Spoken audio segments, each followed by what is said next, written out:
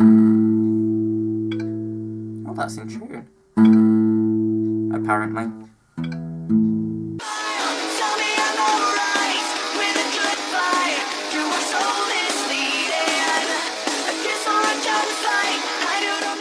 Hey guys, and welcome to this week's video.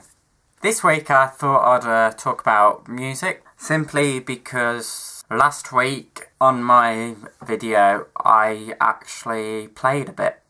Not a lot, just a small, small, small bit. And I want to explain why I left it so short. And that's because, although I do play music, I'm not very confident in it. I've played music for a few years, and I just thought I'd explain to you my story of what I play and how I play and what I do. First CD that I owned, in fact, was Diana Ross and the Supremes. It's probably a bit unusual, but that is my auntie that got me into music, and she's probably the original reason why I actually like it. I still appreciate that album. It's not really what I listen to now, but I still appreciate it. And then I was in school, and I was very easily influenced. And then one day, we had the option to learn an instrument, and it wasn't violin or anything like that. It was the guitar. For some reason, I jumped at it, and I really wanted to play guitar. And I'm really glad that I did. My first guitar was a three quarters classical guitar, and that's what my great grandmother got me. I've still got that guitar, and although it's a bit small for me now, I can still play it. I never got rid of it, of course, and I absolutely loved playing guitar. It was actually where I learnt that I was actually good at something. I stuck to it through the whole of primary school, and I was really good at it. And I used to play uh, once or twice a week. It used to be a Thursday and a Monday, and I absolutely loved playing. And I had a really weird teacher as well, and she was into things like Jimi Hendrix.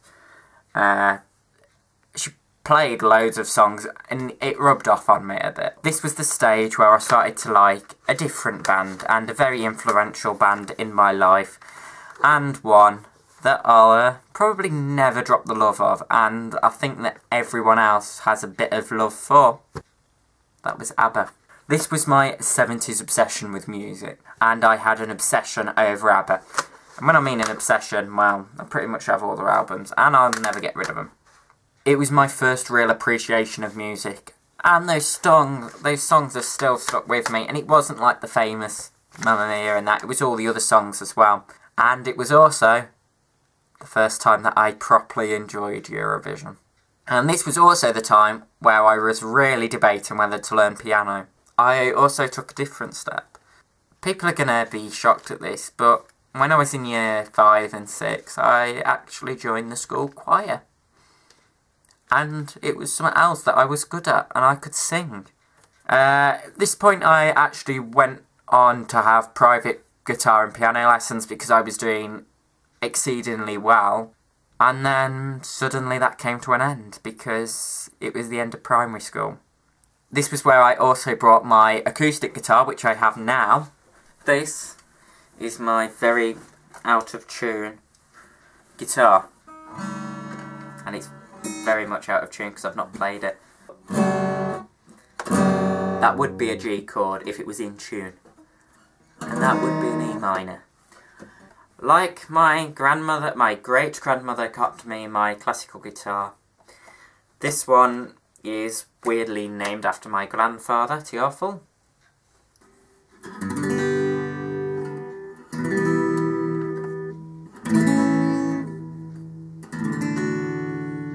So it became the end of my guitar lessons at primary school, and I went to high school.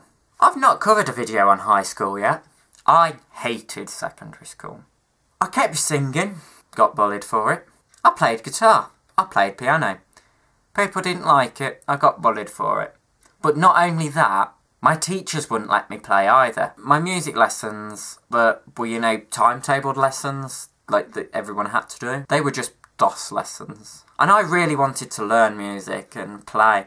And when I did used to play, I just used to get people hating me. I think it's because they were jealous, actually. But they just used to hate it. And in fact, it was a, a really dark time in my life, high school was. I kind of got into more and more rock music. And I'll never regret that. But that's where this all stems off from. I even uh, actually recorded a CD, which is crap. And I've still got that CD, even though it was really bad. However, my music teacher thought I was good enough, and I actually played in a couple of school concerts. I played things like The Winner Takes It All, The Loser Standing Small, Despite the Victory, That's Our Destiny. Whoops. And I used to play in assemblies as well. I did things like Silent Night. I used to.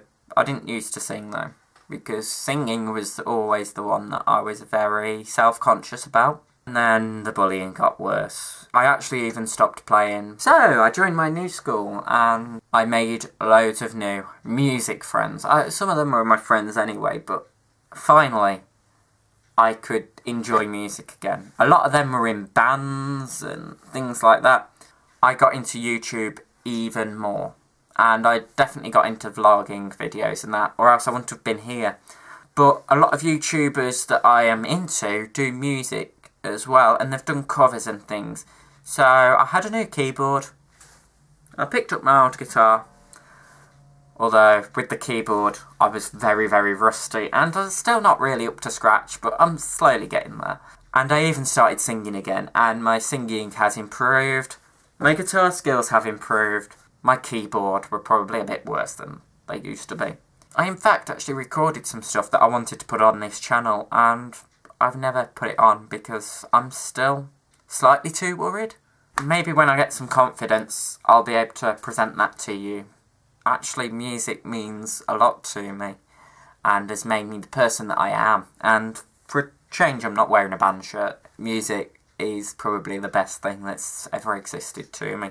Anyway, I hope you've enjoyed today's video, and I know it's been quite personal. If you want to subscribe, click this nice button here. My Snapchat is above. See me all the time, and I do sing on Snapchat. If you do want to hear me sing, you've got to get my Snapchat. Recommend subscribing because you get to see more of these videos, and maybe you get to see a cover one day as well. If you want the last video that's at the end make sure you go and uh, like this video as well because that really does help it'll boost my confidence to make a cover for you or put a cover on for you if you do like that. And leave a comment below see what you think. And I'll uh, see you next week guys. Bye